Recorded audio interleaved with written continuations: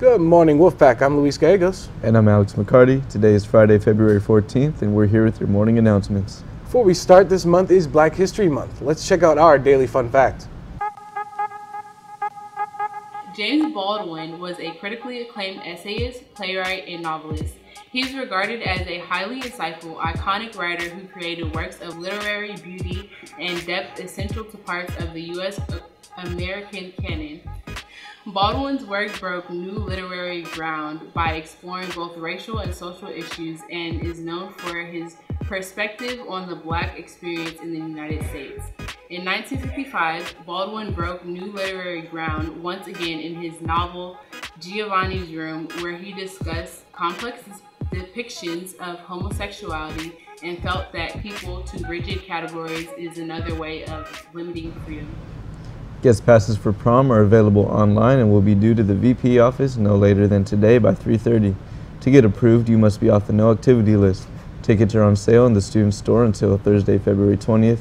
The tickets are not refundable, so students must stay off the list or they will be not able to enter the dance.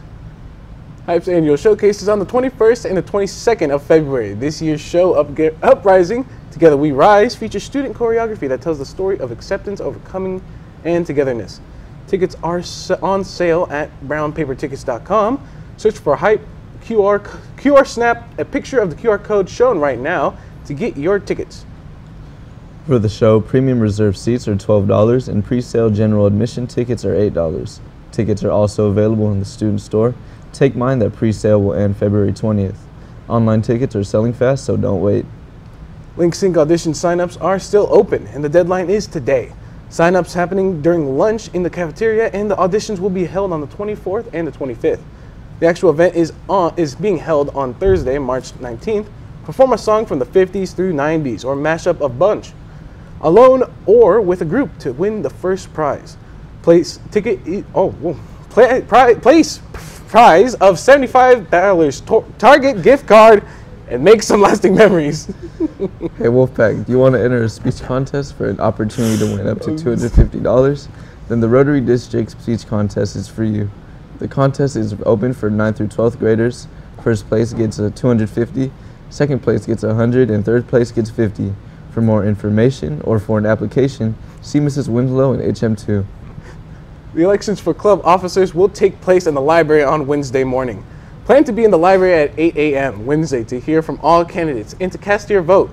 Also, after school tutoring will take place Thursday instead of Monday because of President's Day off. CSF will, re will resume tutoring on Mondays after school and Wednesdays before school of the week of 224. Due to our three-day weekend lasting next week, CSF tutors will be in the library after school for tutoring this Thursday and next Thursday. Now let's pass it on over to Kaylee and Irene for Pop.